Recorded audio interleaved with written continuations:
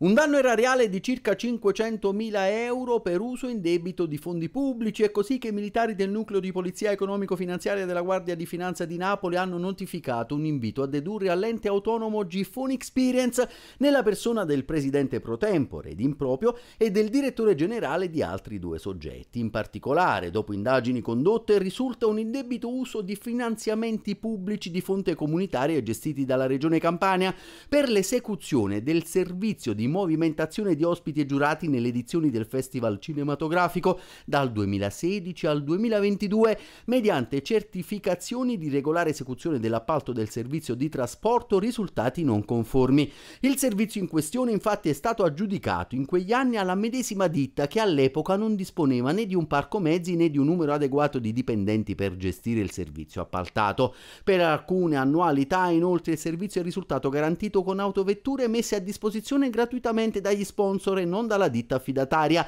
Il danno segnalato deriva anche da spese sostenute dall'ente per il servizio di accompagnamento attraverso pullman che non hanno svolto il servizio perché non erano nella disponibilità della società incaricata, bensì intestate ad altri soggetti o di tipologia non idonea.